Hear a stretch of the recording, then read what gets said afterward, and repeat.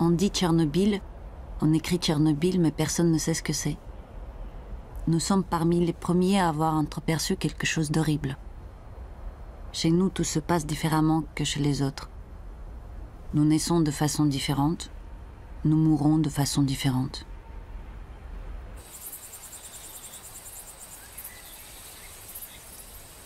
Tout récemment encore, j'étais si heureuse. J'ignore comment j'ai pu revivre. Je l'ai voulu. Et voilà, je ris, je parle. J'étais tellement angoissée, comme paralysée.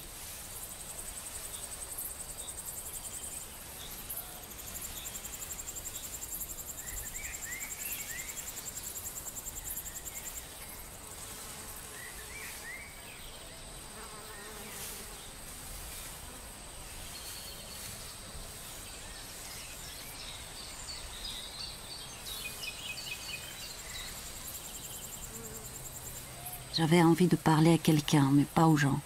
J'allais à l'église. Là, tout est calme, comme à la montagne, très calme. On peut oublier sa vie. Mais je me réveille le matin, j'étends la main et je tâte. Où est-il? Son oreiller, son odeur. Je ne parviens pas à tout exprimer, je ne comprends pas comment je suis restée en vie.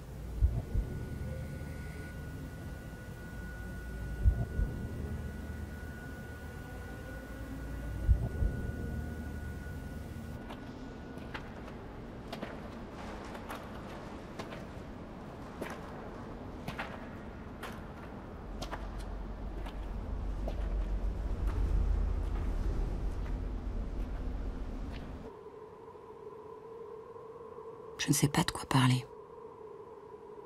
De la mort ou de l'amour. Je n'ai pas vu l'explosion. Rien que la flamme. Tout semblait luire. Tout le ciel. Une flamme haute, de la suie, une horrible chaleur. La suie provenait du bitume qui brûlait.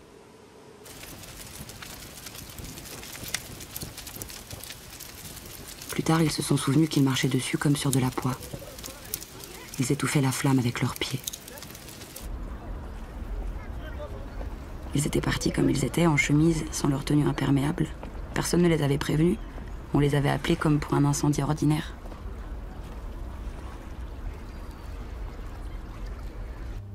Sept heures. À 7 heures, on m'a fait savoir qu'il était à l'hôpital. J'ai couru, mais la milice avait déjà isolé le bâtiment et n'y laissait entrer personne. Je l'ai vu.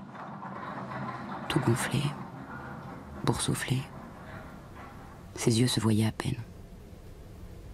Nombre de médecins, d'infirmières et d'aides-soignants tomberaient malades plus tard et mourraient. Mais alors personne ne le savait. Personne ne parlait de radiation. Seuls les militaires avaient des masques. La radio annonçait que la ville allait être évacuée probablement pour 3 à 5 jours.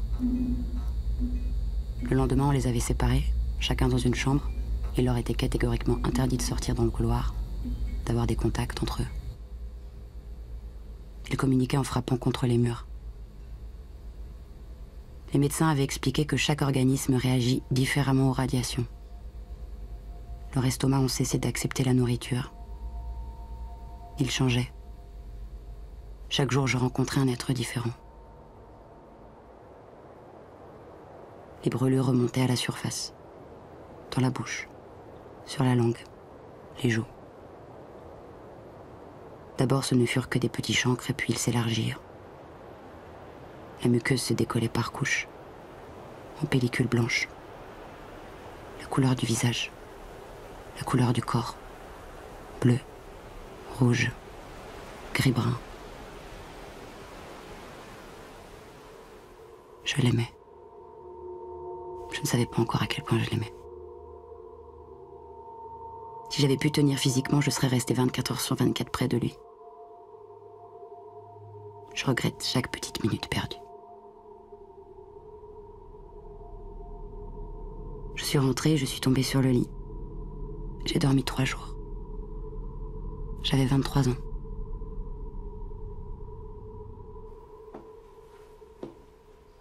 Vous ne devez pas oublier que ce n'est plus votre mari, mais un objet radioactif. Avec un fort coefficient de contamination. Vous n'êtes pas suicidaire. Prenez-vous en main.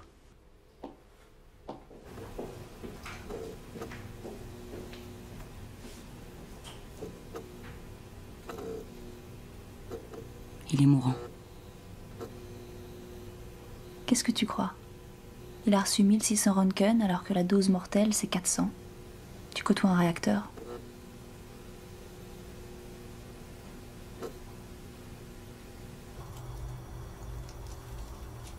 Deux mois plus tard, j'ai eu les premières douleurs. J'ai enfanté deux semaines avant terme. On me la montre.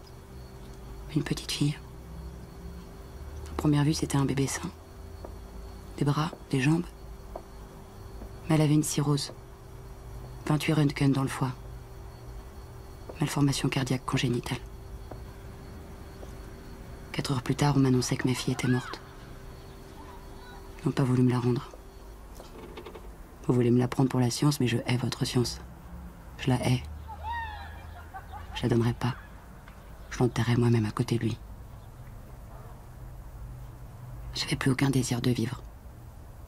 Je passais près d'un jardin d'enfants et m'arrêtais pour regarder. Je pourrais regarder sans cesse les enfants.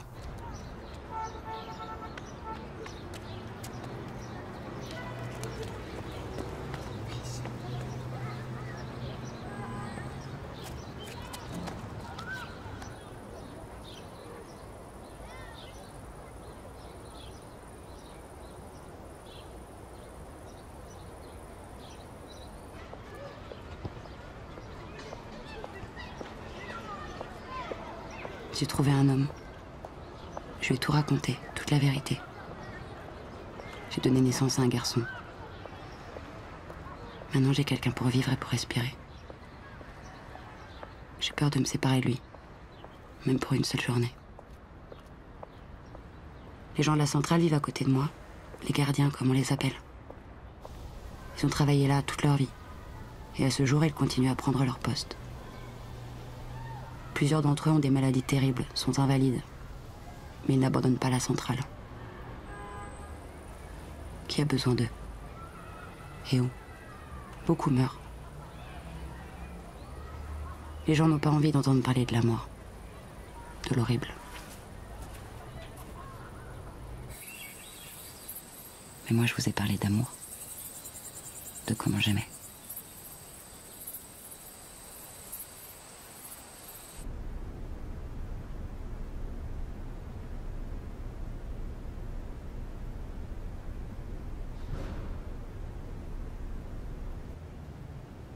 Je suis physicien. Voilà pourquoi je me bornerai à parler de faits. Pour Tchernobyl, il faudra bien répondre un jour. Le temps viendra où il faudra payer. Même si ce n'est que dans 50 ans. Même s'ils sont vieux. Même s'ils sont morts. Ce sont des criminels. Il faut consigner les faits.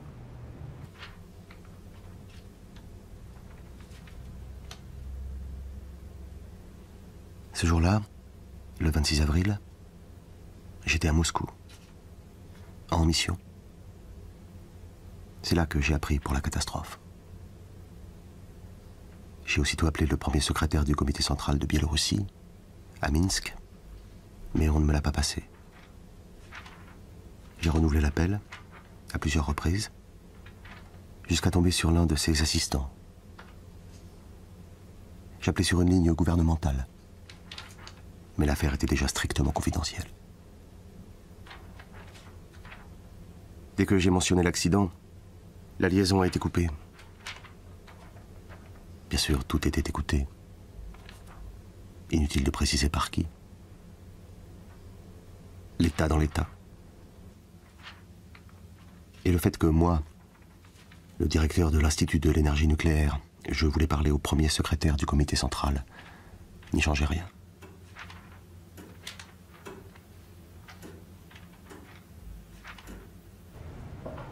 Grave accident. Selon mes calculs, le nuage radioactif avançait vers la Biélorussie. Il fallait immédiatement traiter préventivement à l'iode toute la population. et évacuer ceux qui vivaient à proximité de la centrale. Il fallait évacuer les gens et le bétail dans un rayon de 100 km. Le réacteur allait brûler pendant 10 jours. Il fallait de l'iode, de l'iode ordinaire. Mais personne ne nous écoutait. Nous autres, les scientifiques. La science a été entraînée dans la politique. Des milliers de tonnes de césium, d'iode, de plomb, de zirconium, de cadmium, de beryllium, de bore, et une quantité inconnue de plutonium.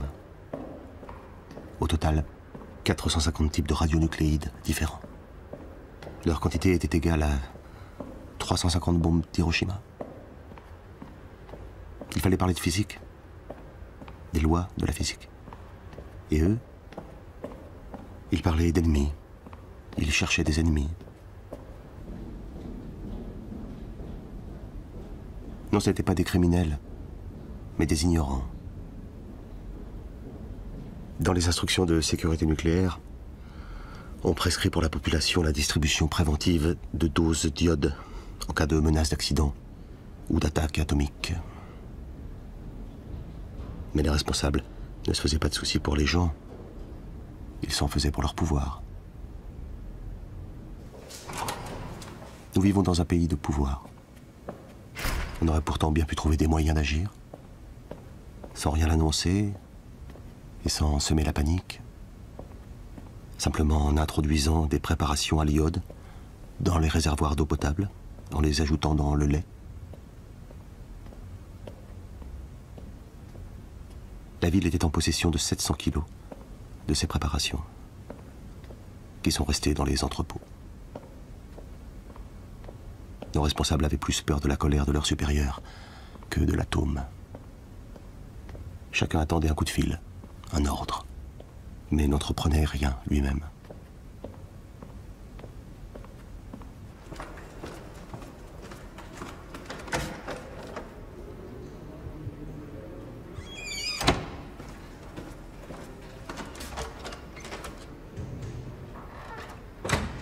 Lorsqu'on a cessé de me voir et de m'écouter, je les ai inondés de lettres et de rapports. J'ai constitué un dossier. Quatre chemises de 250 feuilles chacune. Des faits. Rien que des faits. J'en ai pris une copie. J'ai gardé l'un des deux exemplaires au bureau et caché l'autre à la maison.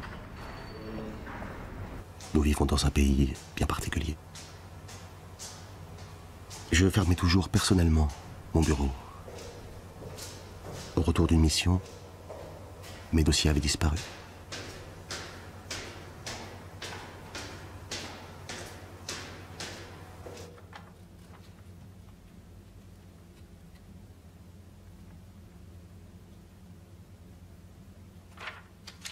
J'ai continué d'écrire, de faire des conférences.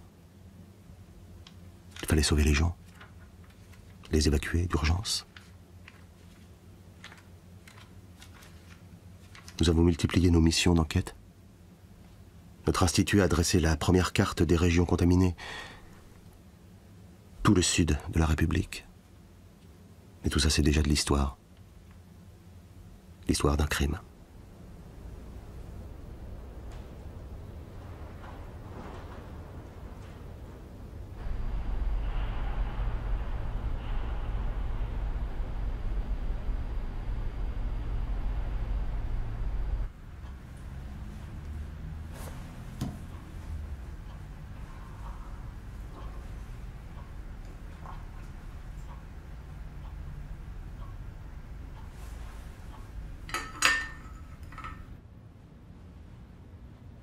Ne craignez rien.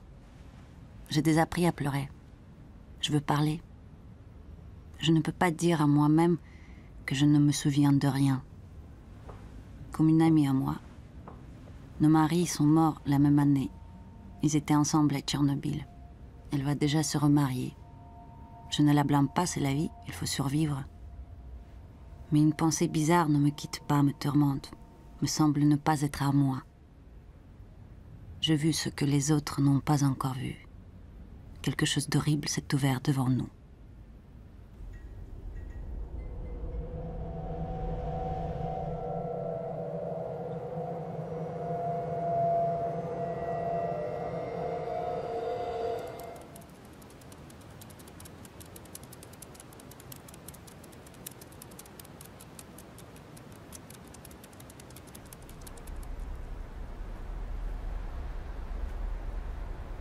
Euh, Mon esprit n'est pas assez vaste pour comprendre. On est un homme ordinaire. Comme tout le monde, on va au travail et on rentre du travail. On reçoit un salaire moyen, un homme normal, quoi. Et puis un beau jour, on se transforme en un homme de Tchernobyl. En une curiosité. Dès les premiers jours, les sentiments étaient que nous n'avions pas seulement perdu la ville, mais la vie entière. On nous évacua le troisième jour. Le réacteur brûlait. Je me souviendrai toujours des paroles d'un ami. Ça sent le réacteur. Une odeur euh, indescriptible. Mais on en a déjà parlé dans la presse. On a fait de Tchernobyl une usine d'horreur, ou plutôt une bande dessinée. Je ne sais raconter que mon expérience, ma vérité. Il y a eu une annonce à la radio. Interdit d'emporter des chats, interdit aussi d'emporter des affaires personnelles. Entendu, je ne prendrai rien, à l'exception d'une seule chose. Notre porte, notre talisman.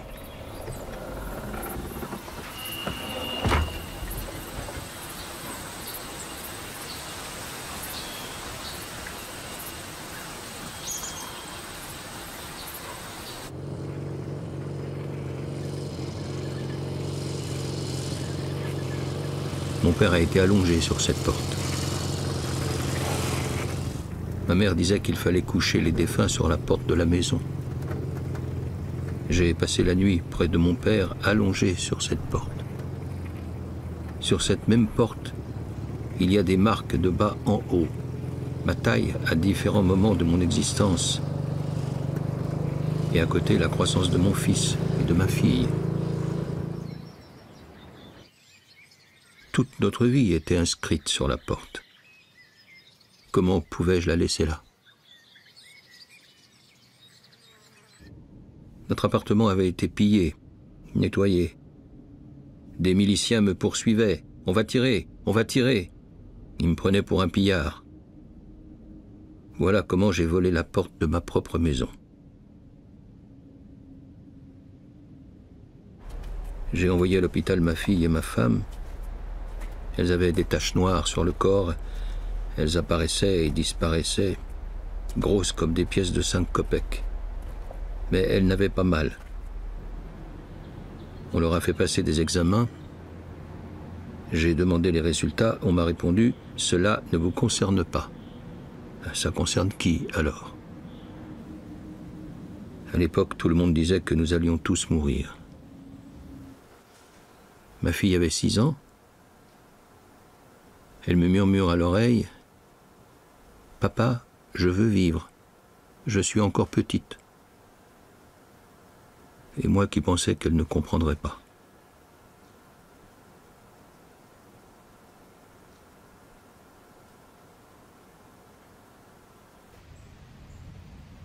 Nous l'avons allongée sur la porte, sur la porte qui avait supporté mon père jadis. Elle est restée là jusqu'à l'arrivée du petit cercueil. Il était à peine plus grand que la boîte d'une poupée.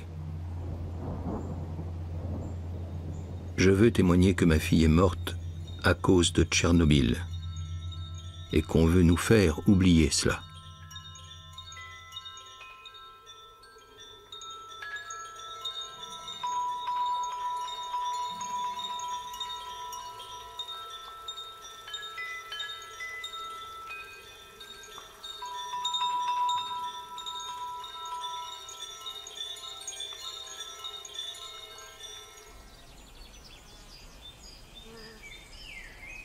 Il est parti à Tchernobyl le jour de mon anniversaire. Les invités étaient encore à table. Il s'est excusé, m'a embrassé Une voiture l'attendait en bas.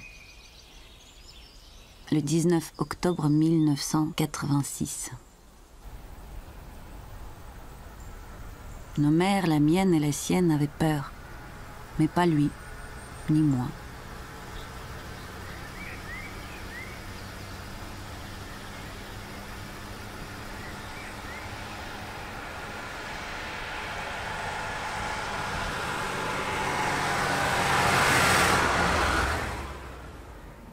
Il est parti sans chapeau.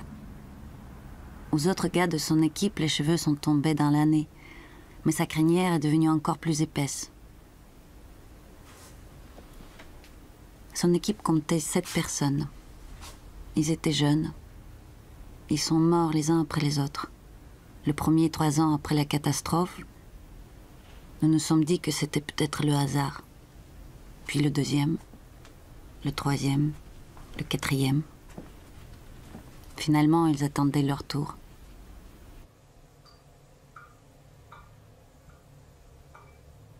Voilà comment ils vivaient.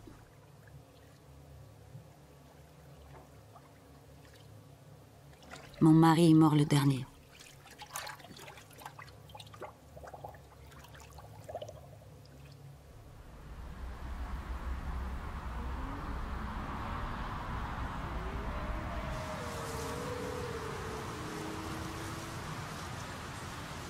Je suis un militaire. Quand on me donne des ordres, je dois obéir. Mais il y a eu tout de même un élan héroïque. Avant d'y aller, j'avais peur. Mais ça n'a pas duré longtemps. Une fois sur place, la peur a disparu. Il y avait les ordres, le travail, la mission. Nous sommes entrés. Une pancarte annonçait Zone interdite. En chemin, nous croisions des chiens et des chats. Les maisons étaient sous scellées. Il n'y avait personne à part nous, les patrouilles de la milice. Nous pénétrions dans certaines maisons. Dans une maison, nous avons emprunté une télé, mais temporairement. Je n'ai vu personne emporter chez lui un seul objet. D'abord, nous avions le sentiment que les gens allaient rentrer. Tout semblait lié à la mort.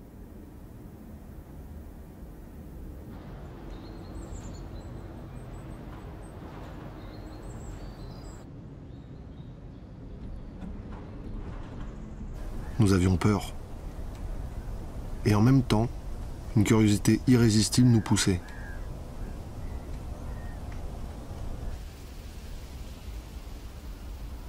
Je n'ai pas peur de la mort en elle-même, mais je ne sais pas comment je vais mourir.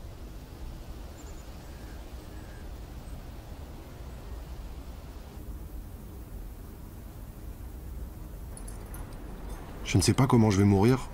La seule chose que je sache avec certitude, c'est que ma vie ne sera pas longue avec ce que j'ai. Si seulement je pouvais sentir l'approche du moment, je me tirerais une balle dans la tête.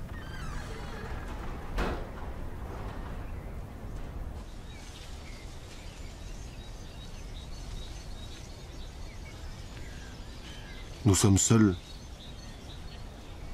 Nous sommes des étrangers. On ne nous enterre pas comme tout le monde, mais séparément. Comme des visiteurs de l'espace.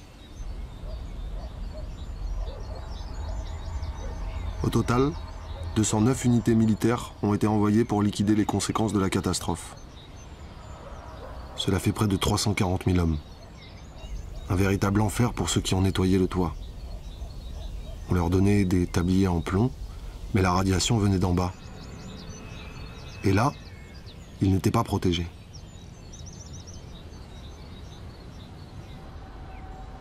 Ils passaient là-haut entre 1 minute 30 et 2 minutes par jour de jeunes gars.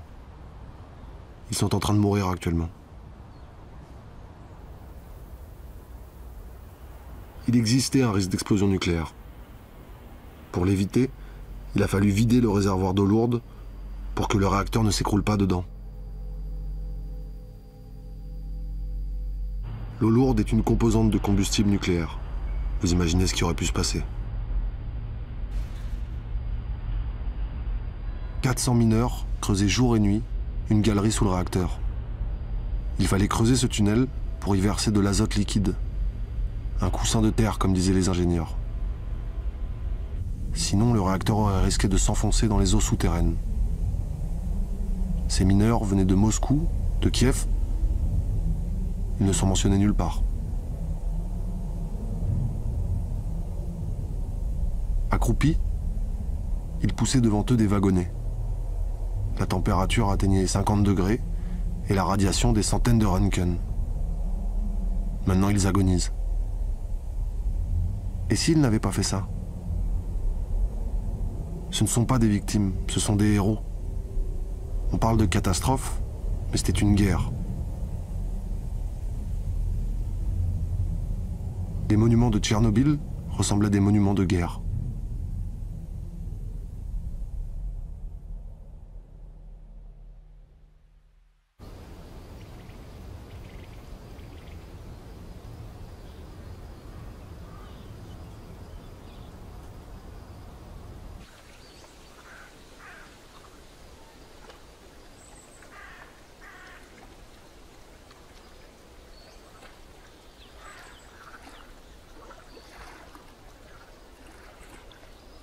Il y a des années, ma grand-mère a lu dans la Bible que viendrait une époque d'abondance, où tout fleurirait et porterait des fruits.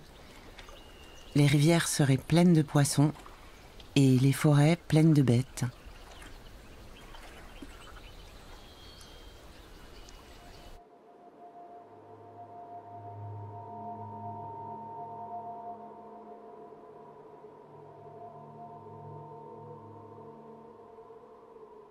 Mais l'homme ne pouvait pas en profiter, parce qu'il ne pouvait plus donner naissance à ses semblables, perpétuer la race.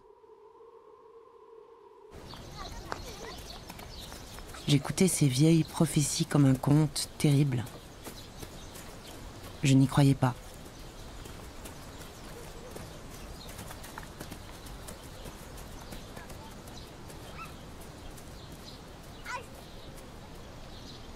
La naissance, ce n'était pas un bébé, mais un sac fermé de tous les côtés, sans aucune fente. Les yeux seuls étaient ouverts. Sur ces cartes médicales, on a noté né avec une pathologie multiple complexe. Aplasie de l'anus, aplasie du vagin, aplasie du rein gauche. Deuxième jour de sa vie, je l'ai portée jusqu'au bloc opératoire. Elle a ouvert les yeux et elle a souri. J'ai d'abord pensé qu'elle allait mourir, mais elle m'a souri. Les bébés comme elle ne survivent pas. Ils meurent, tout de suite. Mais elle n'est pas morte. Parce que je l'aime. Ma fillette, elle n'est pas comme tout le monde. Quand elle aura grandi, elle me demandera pourquoi ne suis-je pas comme les autres. En Biélorussie, c'est le seul enfant qui a survécu avec une pathologie aussi complexe.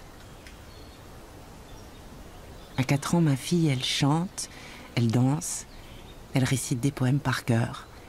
Son développement intellectuel est normal. Elle ne diffère en rien des autres enfants. Elle a seulement des jeux bien à elle. Avec ses poupées, elle ne joue pas au magasin ou à l'école, mais à l'hôpital. Elle leur fait des piqûres, elle leur met le thermomètre, les place sous perfusion, et lorsque la poupée meurt, elle la couvre d'un drap blanc.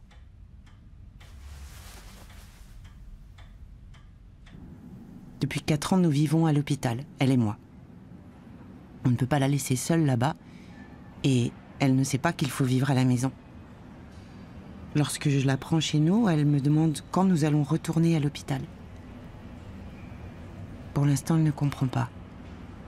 Mais un jour, elle va demander pourquoi elle n'est pas comme tout le monde. Pourquoi aucun homme ne pourra l'aimer. Pourquoi elle ne pourra pas avoir d'enfant. Pourquoi elle ne connaîtra jamais ce que connaissent les papillons, les oiseaux, tout le monde, sauf elle. Je voulais.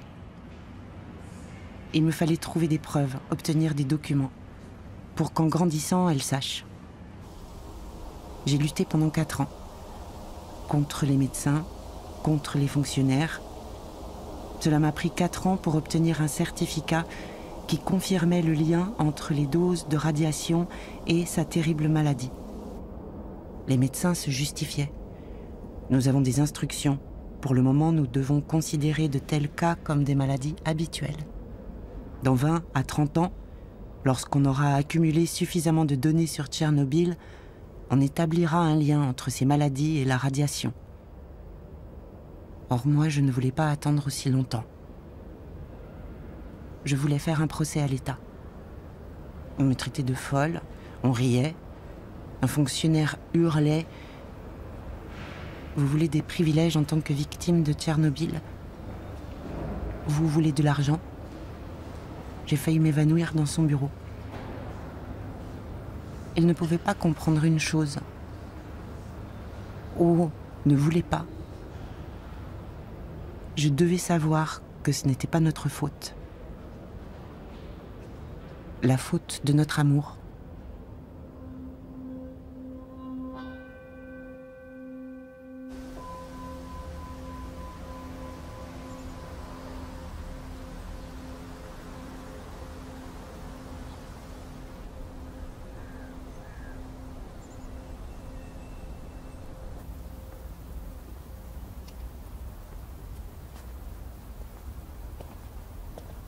Je suis journaliste. Écrire sur tout cela aujourd'hui, ça n'a pas de sens. Il est impossible de le comprendre, de le concevoir. Nous allons de toute manière inventer quelque chose qui ressemble à notre vie. Après Tchernobyl, la mythologie de Tchernobyl est restée. Les journaux et les magazines insistaient sur les choses les plus horribles. Il s'agit surtout de gens qui n'ont jamais mis les pieds ici et qui aiment les cauchemars. Tout le monde a lu des articles sur des champignons grands comme des têtes. Personne n'en a trouvé. C'est pourquoi il ne faut pas écrire, mais prendre des notes. Il n'y a pas de roman de science-fiction sur Tchernobyl. La réalité est encore plus fantastique.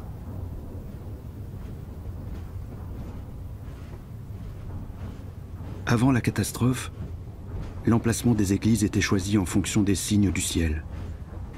On organisait des cérémonies religieuses avant de commencer la construction. Mais la centrale nucléaire était bâtie comme une vulgaire usine, comme une porcherie. Le toit était couvert d'asphalte. Il a fondu.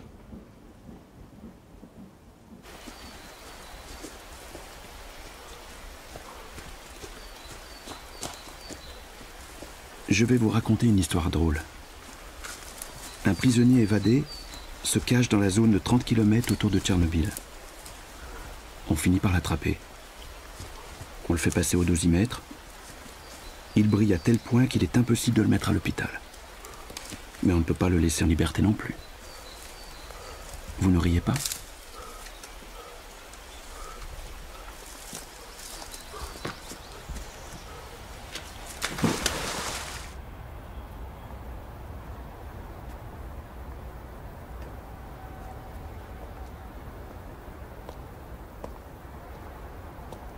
Des croisements de chiens et de loups sont apparus.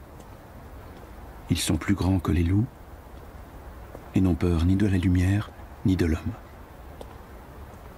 Les chats devenus sauvages se rassemblent en bande et attaquent les humains.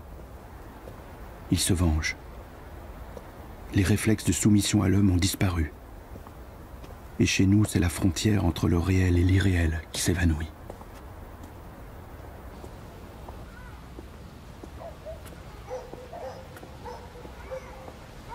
Folle est apparue en ville. Elle parcourait le marché en disant ⁇ J'ai vu la radiation. Elle brille. Elle est bleu ciel. ⁇ Les gens ont cessé d'acheter au marché.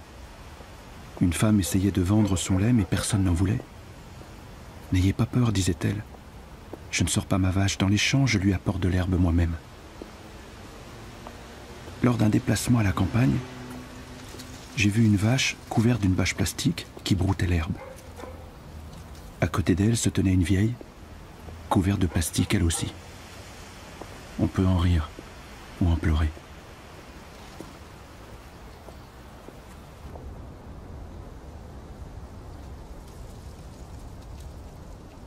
Lorsqu'on rencontre un homme dans la zone, il ne dit jamais la vérité sur lui-même. Cela n'arrive que très rarement.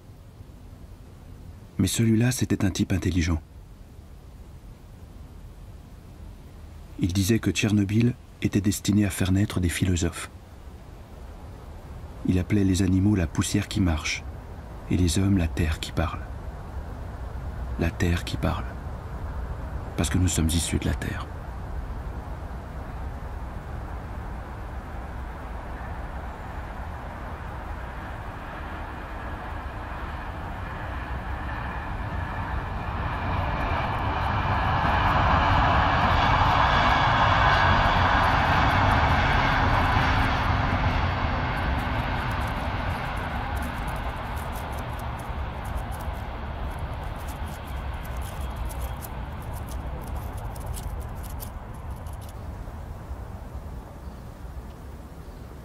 Avec un scientifique.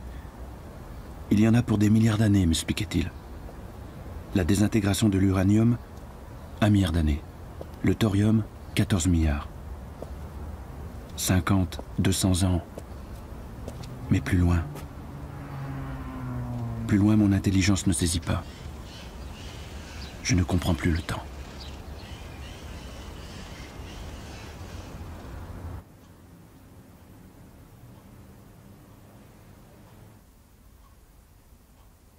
Je ferme les et je pense à lui jusqu'à trouver le sommeil.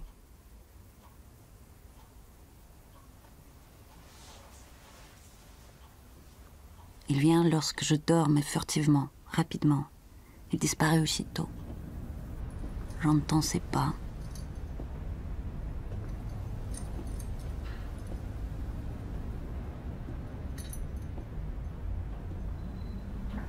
Il avait une telle envie de vivre. Il regardait sans cesse le ciel par la fenêtre. Je lui plaçais un coussin derrière le dos, puis un autre, puis un troisième pour qu'il puisse se relever. Il mourait lentement, une année entière. Nous ne pouvions pas nous séparer.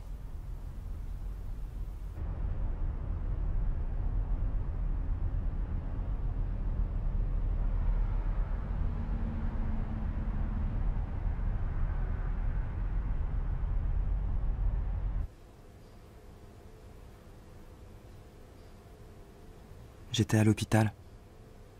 J'avais tellement mal. Je demandais à maman Maman, je peux plus le supporter. Tue-moi plutôt. Maman et papa se sont embrassés et je suis né. Avant, je pensais que je mourrais jamais.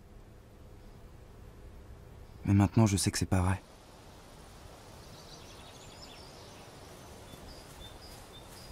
Un garçon était avec moi à l'hôpital. Il me dessinait des oiseaux, des maisons. Il est mort. Il avait pas peur de mourir. Tu vas dormir très très longtemps et tu te réveilleras jamais.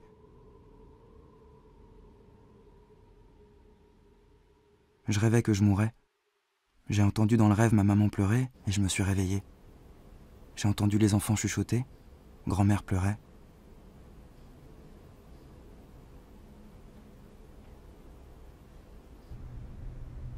Depuis ma naissance en 86, il n'y a plus de garçons ni de filles dans le village. Je suis tout seul. Jadis, j'écrivais des poèmes. À 11 ans, je suis tombé amoureux d'une fille. À 14, j'ai découvert l'existence de la mort.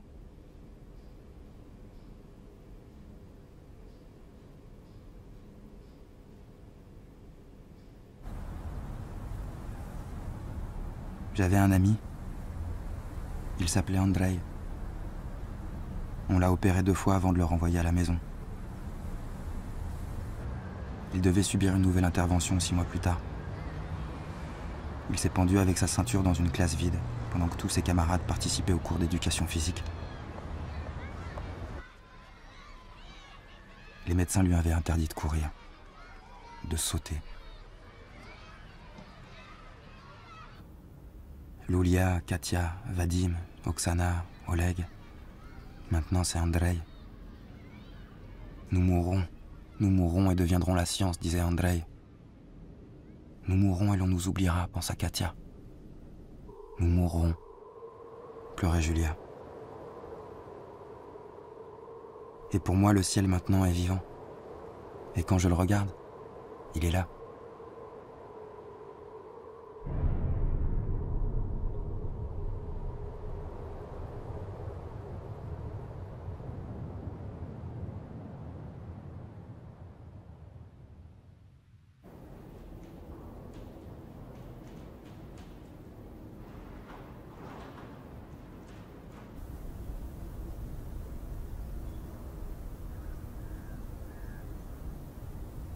Demandez pourquoi je prie Je ne prie pas à l'église, je prie mentalement. Je veux aimer. J'aime. Je prie pour mon amour. Me souvenir Peut-être ne vaut-il mieux pas.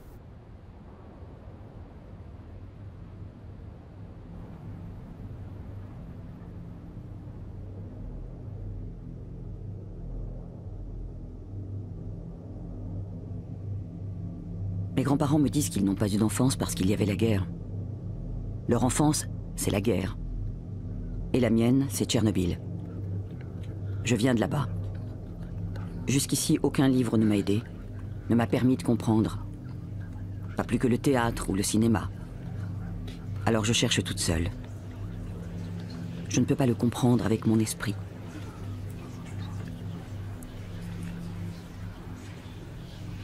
J'enseigne la littérature russe à des enfants qui ne ressemblent pas à ceux que j'avais dans ma classe il y a dix ans. Ils vont continuellement à des enterrements. Lorsqu'on les met en rang, s'ils restent debout 15 ou 20 minutes, ils s'évanouissent, saignent du nez. On ne peut ni les étonner, ni les rendre heureux. Ils sont toujours somnolents, fatigués. Ils sont pâles, et même gris.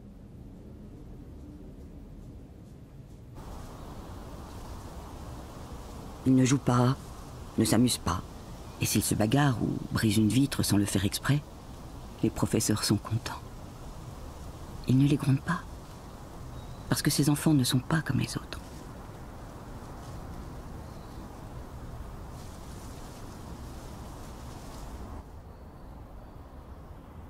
Si je leur demande de répéter quelque chose pendant les cours, ils n'en sont pas capables.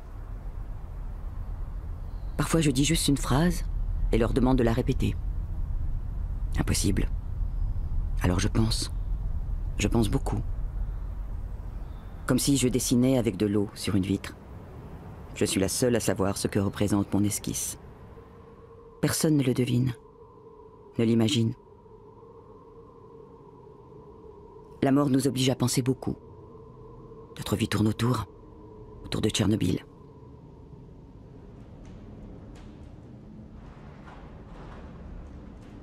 Je leur récite du Pushkin et ils me regardent avec des yeux froids, détachés. Un autre monde les entoure. Ils lisent la science-fiction.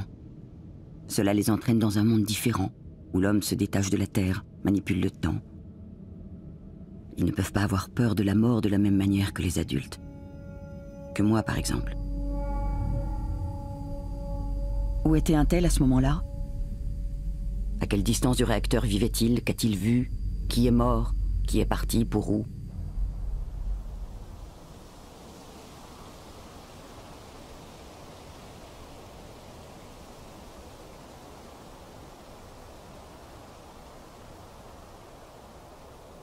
Je me souviens que dans les premiers mois après la catastrophe, les restaurants se sont de nouveau remplis. Les gens organisaient des fêtes bruyantes. On ne vit qu'une seule fois. Quitte à mourir, autant que ce soit en musique. Des soldats, des officiers sont venus, mais Tchernobyl est désormais tout le temps avec nous.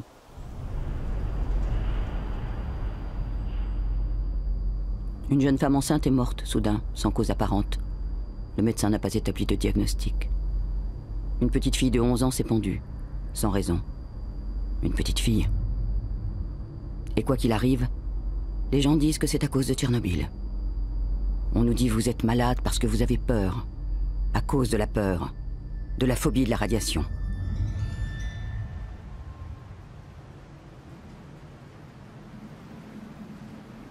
J'entends si souvent parler de la mort que je ne vais plus aux enterrements. Avez-vous entendu des conversations d'enfants sur la mort? En sixième, ils se demandent si cela fait peur ou non. Il n'y a pas si longtemps à leur âge, ils voulaient savoir comment naissent les bébés. Maintenant, Il s'inquiète de savoir ce qui se passe après une guerre atomique.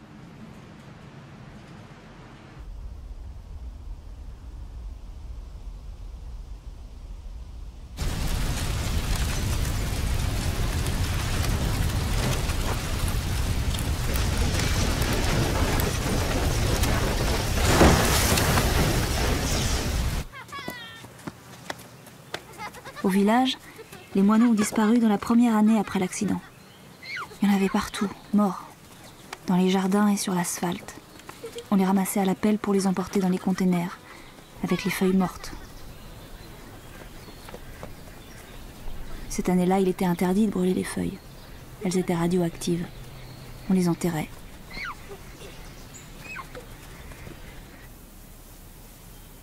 Deux ans plus tard, les moineaux sont revenus. Nous nous en sommes réjouis. Nous crions aux autres Hier, j'ai vu un moineau. Ils sont revenus. Les hannetons, eux, ont disparu. Il n'y en a toujours pas. Peut-être reviendront-ils dans cent ou mille ans, comme le dit notre prof. Je ne verrai pas ça.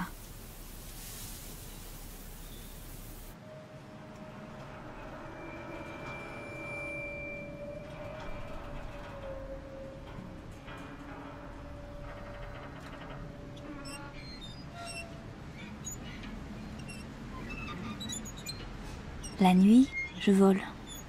Je vole dans une lumière forte. Ce n'est pas la réalité, mais ce n'est pas non plus l'au-delà. C'est l'un et l'autre. Et encore une troisième chose.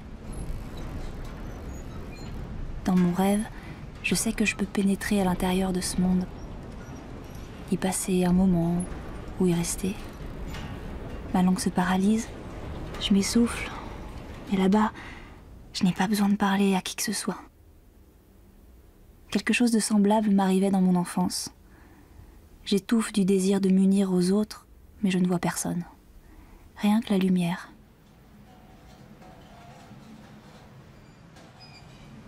J'ai la sensation que je peux la toucher, que je suis énorme.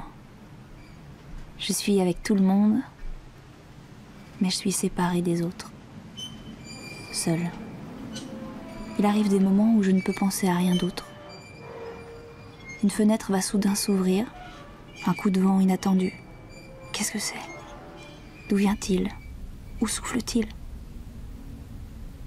Entre quelqu'un et moi, un lien s'établit, un contact.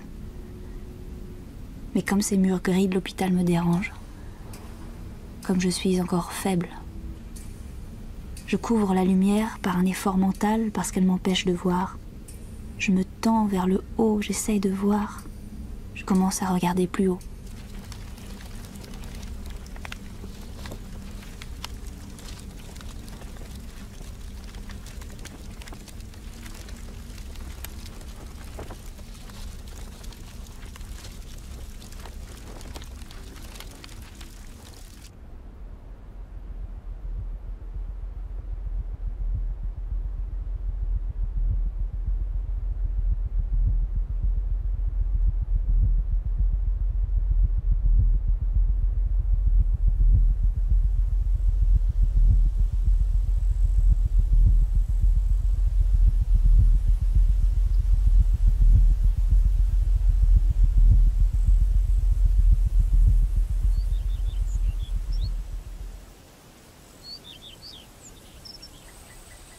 Je suis cadreur de cinéma.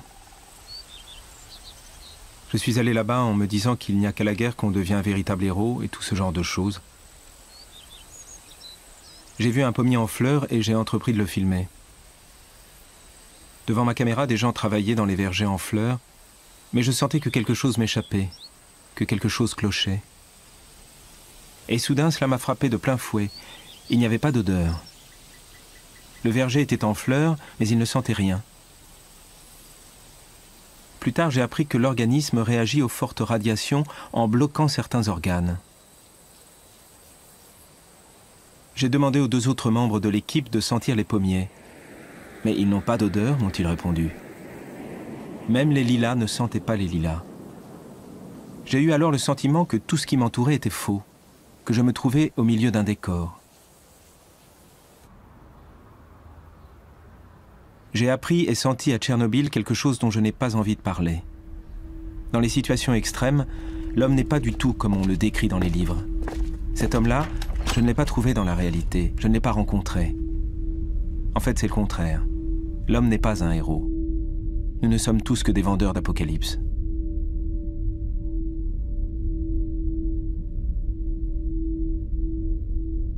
Grand-mère, tu ne peux pas emporter ton chat, c'est interdit, ses poils sont radioactifs. C'est avec cette grand-mère que cela a commencé, avec ce pommier en fleurs. Maintenant, je ne filme que les animaux. J'ai découvert le sens de ma vie.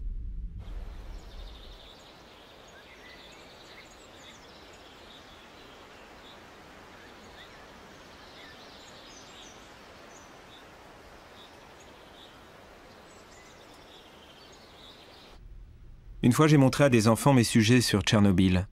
On m'a fait des reproches. Pourquoi il faut pas? Ils vivent déjà dans la peur au milieu de toutes les conversations. Leur formule sanguine a changé, leur système immunitaire est atteint. On m'a posé toutes sortes de questions, mais l'une d'entre elles s'est gravée dans ma mémoire. Un garçon qui rougissait et balbutiait a pris la parole. Il m'a demandé Pourquoi ne pouvait-on pas sauver les animaux qui sont restés là-bas? J'ai pas pu lui répondre. Nos livres, nos films parlent seulement de la pitié et de l'amour pour l'homme, rien que pour l'homme. Pas pour tout ce qui est vivant, pas pour les animaux ou les plantes, cet autre monde. Mais avec Tchernobyl, l'homme a levé la main sur tout.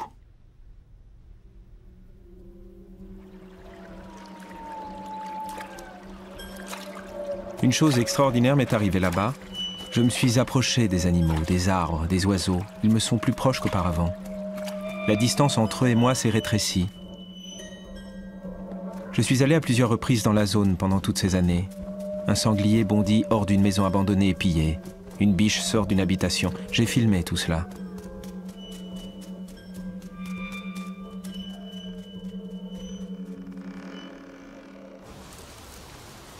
Je veux faire un film et tout voir à travers les yeux d'un animal. Saint François prêchait aux oiseaux, il parlait aux oiseaux comme à ses semblables. Et si c'était les oiseaux qui lui parlaient dans leur propre langue, et non lui qui s'abaissait jusqu'à eux?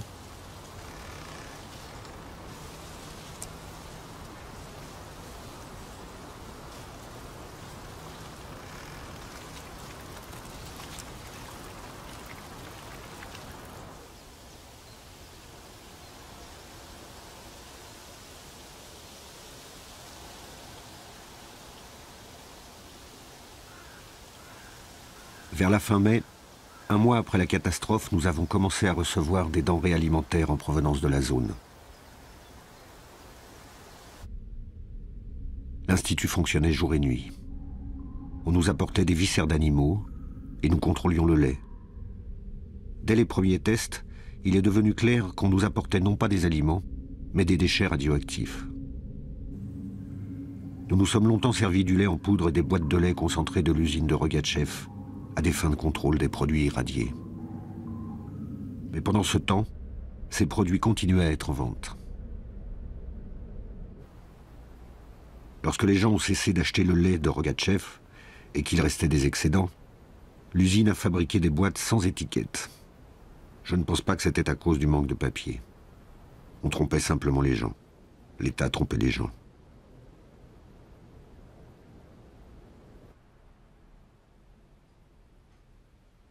Pourquoi avons-nous gardé le silence alors que nous savions? Pourquoi n'avons-nous pas crié sur la place publique? Nous avons fait des rapports, écrit des notes explicatives, mais nous nous sommes tus. Nous avons obéi sans un murmure, parce qu'il y avait la discipline du parti, parce que nous étions communistes. Pas un seul des employés de l'Institut a refusé d'aller en mission dans la zone. Ils croyaient au parti.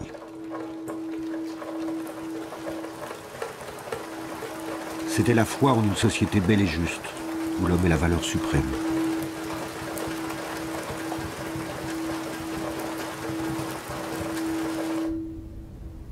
Pour beaucoup de gens, l'effondrement de cette foi s'est soldé par des infarctus et des suicides.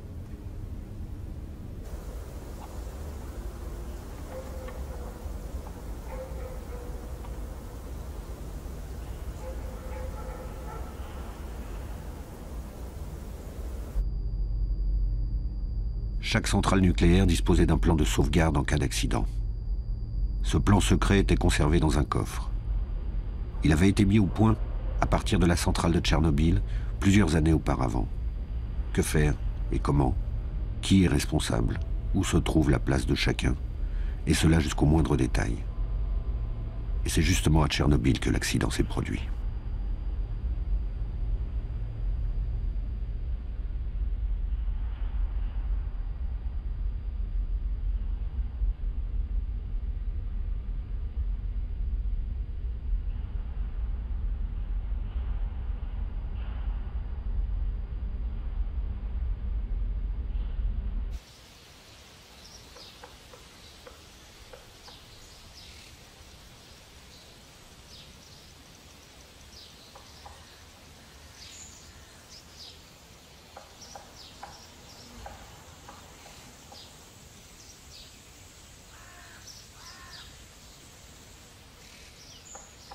Je suis née pour l'amour. À l'école, les filles rêvaient d'entrer à l'université. Moi, j'ai toujours voulu me marier. Aimer très très fort, rien qu'aimer.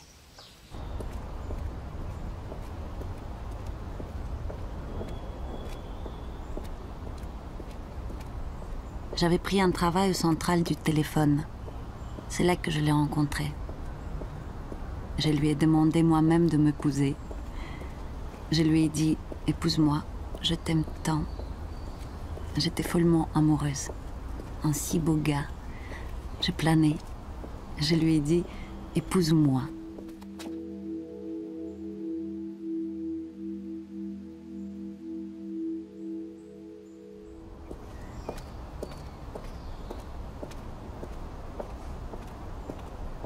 Parfois j'ai réfléchi je cherche des consolations.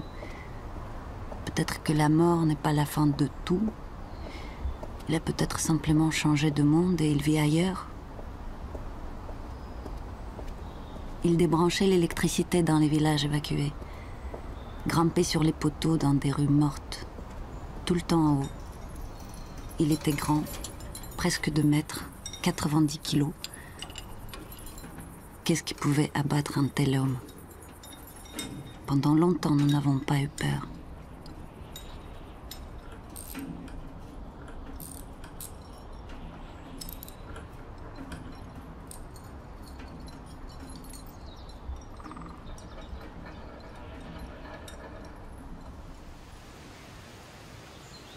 Oh, comme j'étais heureuse quand il rentrait.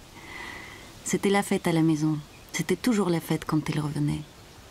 J'ai une chemise de nuit très longue, très belle. Je la mettais. J'aimais la belle lingerie. Pour notre premier jour, la première nuit. En revenant de Tchernobyl, il avait les ganglions lymphatiques un peu gonflés. Je les ai sentis sur son cou avec mes lèvres. Ils étaient petites, mais j'ai demandé Veux-tu qu'on aille voir un médecin? Il m'a rassuré Ça va passer. Comment c'était là-bas? Un travail ordinaire, il m'a répondu. Nous avons pu aller à la mer. Il y avait autant de mer que de ciel. Une amie est allée également avec son mari. Elle n'en a pas gardé un bon souvenir. La mer était sale, tout le monde avait peur d'attraper le choléra. Moi, ma mémoire me parle autrement. Je me rappelle que la mer était partout, comme le ciel, très très bleu, et il était à mes côtés.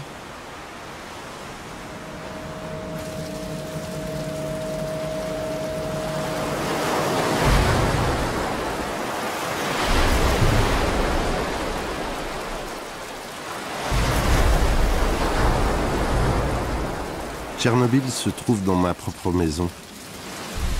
Il est dans l'être le plus cher pour moi. Dans mon fils qui est né au printemps 1987. Il est malade. Les animaux, même les cafards savent à quel moment il convient d'enfanter. Les hommes ne le peuvent pas. Dieu ne leur a pas donné le sens du pressentiment. Récemment, j'ai lu dans les journaux qu'en 1993, les femmes de Biélorussie ont subi 200 000 avortements. Et la cause principale en est Tchernobyl.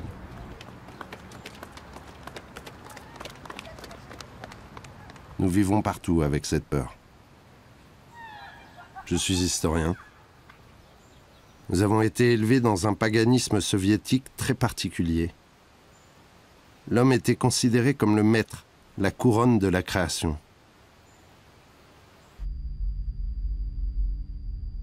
Et il avait le droit de faire ce qu'il voulait de la planète, comme dans la célèbre formule de Mitchourine. Nous ne pouvons pas attendre que la nature nous accorde ses faveurs. Notre tâche est de les lui arracher. C'était une tentation de transmettre au peuple des qualités qu'il n'avait pas, de lui donner la psychologie d'un violeur. Un défi à l'histoire et à la nature.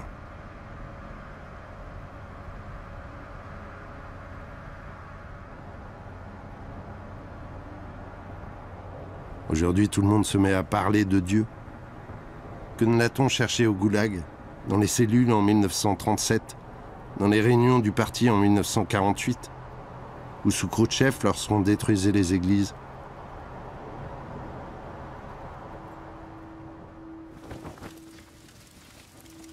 Le contexte contemporain de cette recherche de Dieu par les Russes est faux.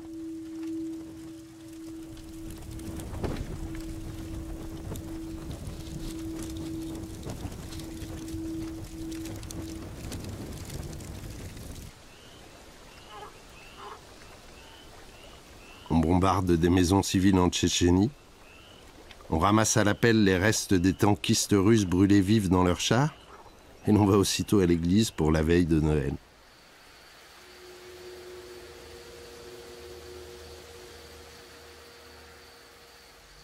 Tchernobyl est un sujet à la Dostoïevski.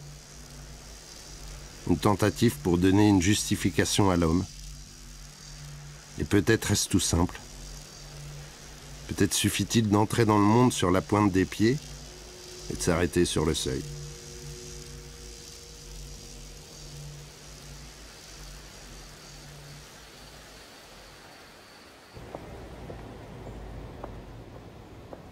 Aujourd'hui, je travaille dans une bibliothèque. Je lis beaucoup. Je rencontre des gens très divers. J'ai envie de parler de la mort, de comprendre. Je cherche dans les journaux et les livres. Je vais voir des pièces qui parlent de la mort. Sans lui, j'ai physiquement mal. Je ne peux pas vivre seule.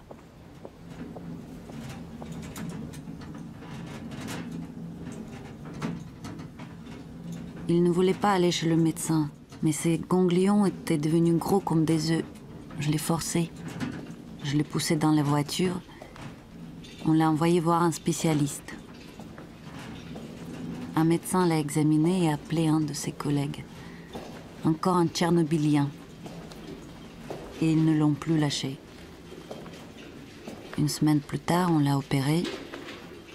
On lui a entièrement retiré la thyroïde et le larynx que l'on a remplacé par des tuyaux.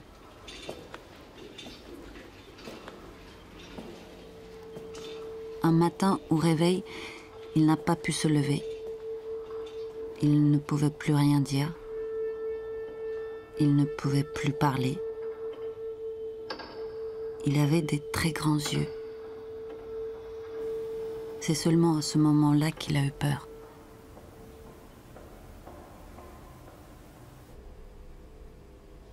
Une fois, une infirmière est venue. Elle est restée sur le palier. Elle m'a dit Excusez-moi, je ne peux pas. Et moi Est-ce que je pouvais? Oui, je pouvais, je pouvais tout. Il criait, il avait mal toute la journée. Alors j'ai trouvé la solution. Je lui ai injecté de la vodka. Alors il s'oubliait. Ce sont d'autres femmes qui m'ont soufflé ce remède. D'autres femmes qui avaient comme moi le même malheur. Je me tenais assise près de lui. Il dormait. Il avait de si beaux cheveux. J'ai pris une mèche et je la coupais. Il a ouvert les yeux et a vu ce que je tenais dans ma main. Et il m'a dit Valoucha.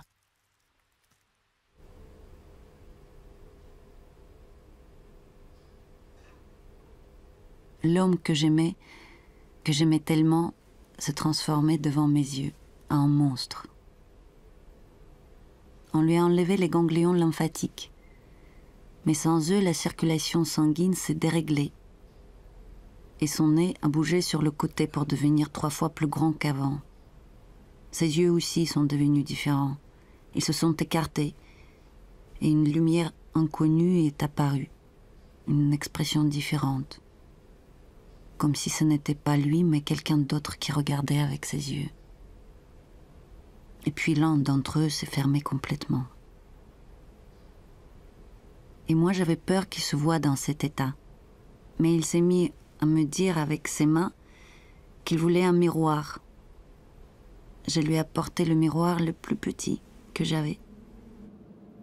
Il s'est regardé, s'est pris la tête dans les mains et a commencé à se balancer dans le lit. Je me suis élancée vers lui pour le consoler.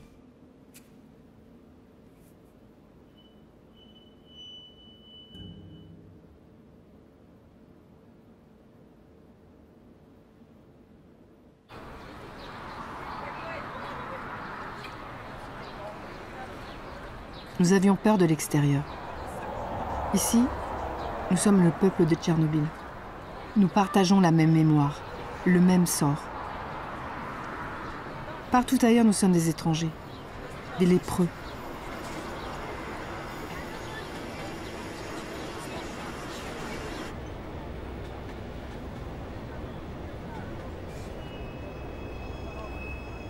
Dans les premiers jours, j'ai pris ma fille et je me suis ruée chez ma sœur à Minsk. Ma propre sœur ne nous a même pas laissé entrer chez elle parce qu'elle allaitait le bébé. Alors on a passé la nuit à la gare. Des idées folles me passaient par la tête. Où fuir? Peut-être fallait-il mieux se suicider pour ne pas souffrir.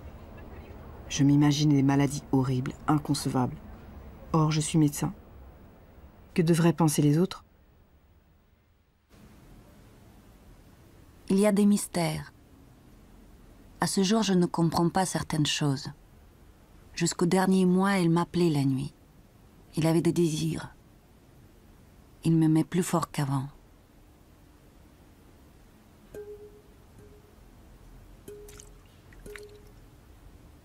Ce n'était pas un cancer ordinaire dont tout le monde a peur. C'était celui de Tchernobyl, encore plus terrifiant. J'apportais de l'eau froide, je faisais des compresses, rien n'y faisait. C'était horrible. Tout l'oreiller se couvrait de sang. J'apportais une cuvette.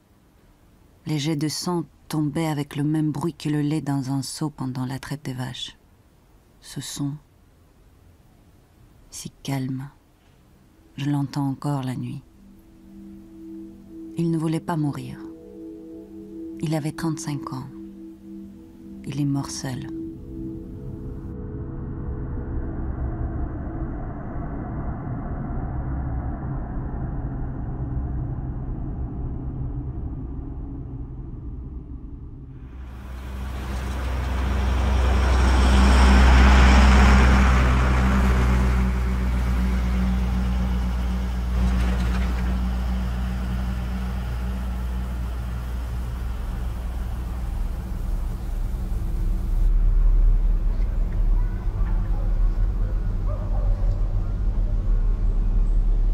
Vers la zone, nous rencontrons une vieille femme en jupe brodée et tablier, un baluchon sur le dos. Je lui demande où elle va. À Marquis, elle me répond. Il y avait 150 curies là-bas. Elle avait 25 km à faire rien qu'à l'aller.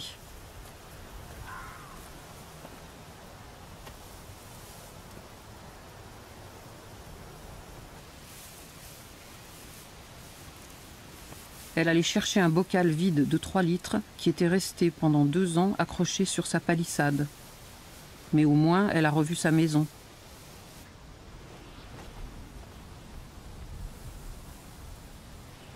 C'est ça aussi Tchernobyl.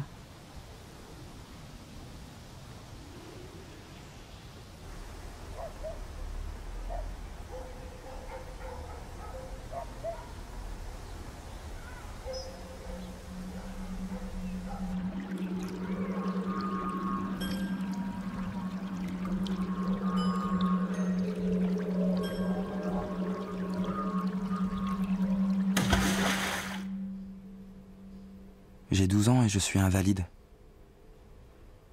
Chez nous, le facteur apporte des pensions d'invalidité à mon grand-père et à moi. Lorsque les filles de ma classe ont su que j'avais la leucémie, elles ont eu peur d'être assises à côté de moi, peur de me toucher. Les médecins me l'ont dit, je suis tombé malade parce que mon papa a travaillé à Tchernobyl. Et je suis né après. J'aime mon papa.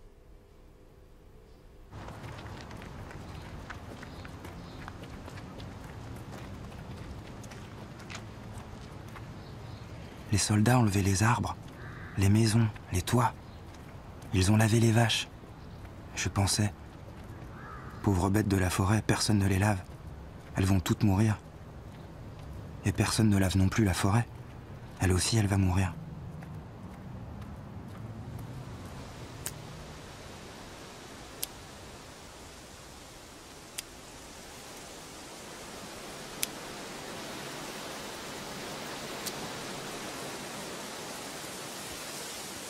Maîtresse a dit Dessinez la radiation. J'ai dessiné une pluie jaune et une rivière rouge.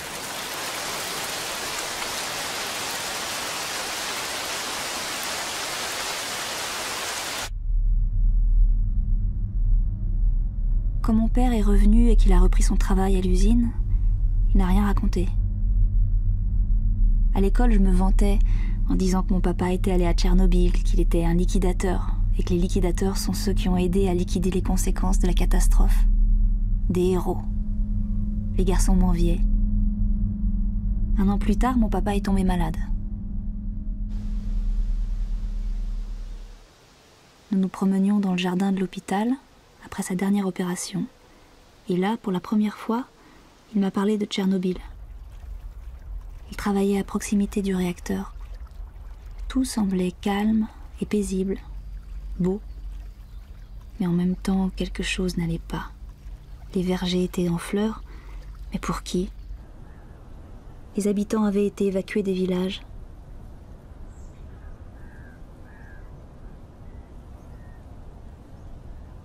Mon père et ses collègues ont traversé la ville. Ils nettoyaient. Ils retiraient la couche supérieure de la terre, contaminée par le césium et le strontium. Ils lavaient les toits. Mais le lendemain, les dosimètres craquaient de nouveau.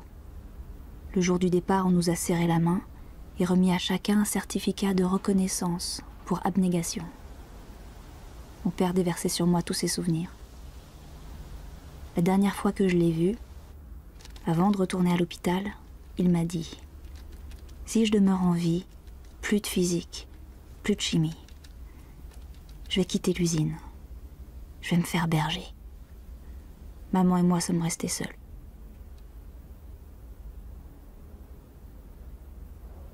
Je ne ferai pas l'institut technique comme le rêve ma mère. J'ai un petit frère. Il aime jouer à Tchernobyl. Il construit un abri anti-atomique, verse du sable sur le réacteur. Il n'était pas encore né quand c'est arrivé.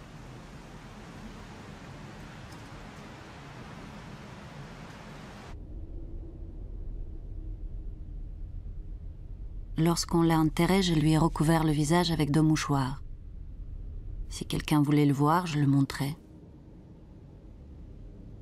Une femme s'est évanouie.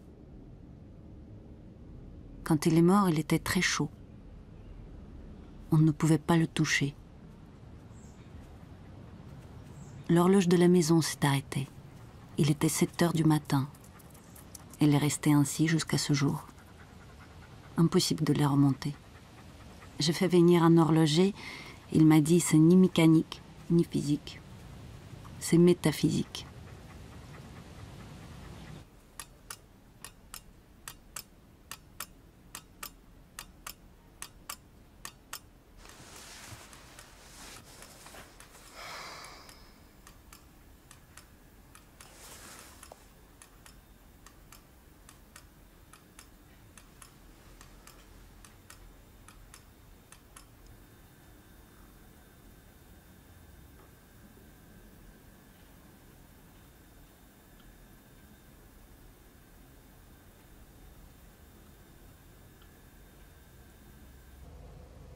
Les premiers jours sans lui, j'ai dormi 48 heures d'affilée.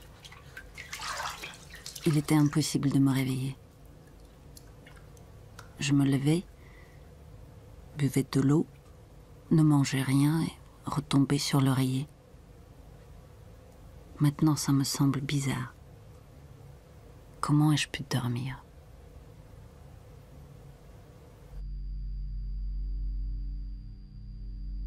On m'a rapporté l'urne. Je n'ai pas eu peur.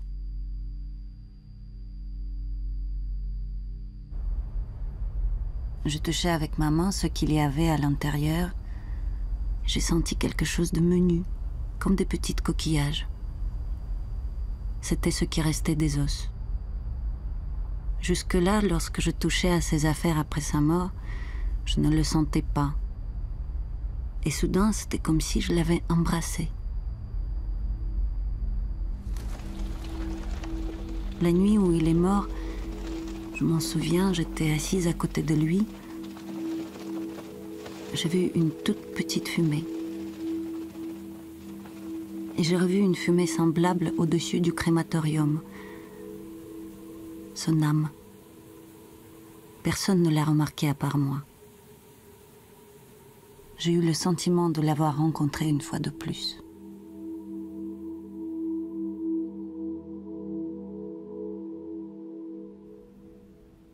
je ne vous ai pas tout raconté. Pas jusqu'au bout. Je veux comprendre.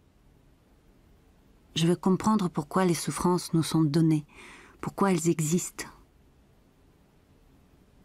Au début, j'avais l'impression qu'il me restait quelque chose de sombre dans le regard, quelque chose d'étrange. Ce qui m'a sauvé, ce qui m'a rendu à la vie, mon fils.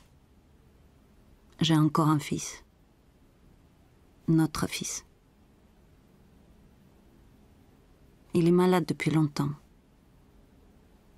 Il a grandi, mais il voit le monde avec les yeux d'un enfant de 5 ans. Je veux être avec lui.